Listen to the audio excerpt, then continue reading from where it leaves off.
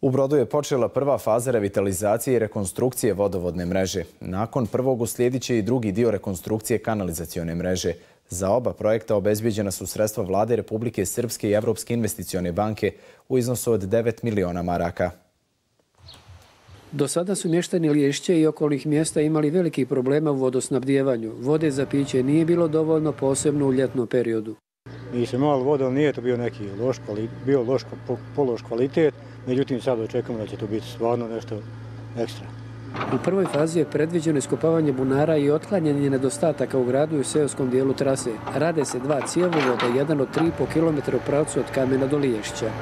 Drugija dionica koja se radi u pravcu Dervente, to je prema Sjekovcu, 3750 metara, to je profil 200 i tim će da se popravi vodostadbjevanje u tom, u tom pravcu i da se jednostavno i taj dio uprsteno u kompletan sistem.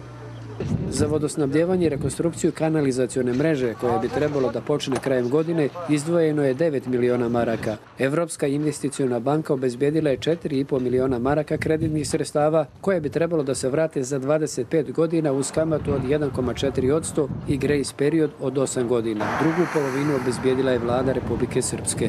Ovi 50% znači od 4,5 miliona su e, u stvari e, bespovratna sredstva grant sredstva, bespovratna sredstva donatora i uslovi su da bi Evropska investicijona banka eh, inače ušla u projekt i mogli se koristiti sredstva jeste da se obezbidi ova sredstva. Ovaj put je obezbedila vlade Republike Srpske. Izvođač tvrdi da će prva faza umjesto za 10 koliko je predviđeno radovi biti završeni za 6 mjeseci krajem godine u sljedeće izgradnje i rekonstrukcije kanalizacione mreže.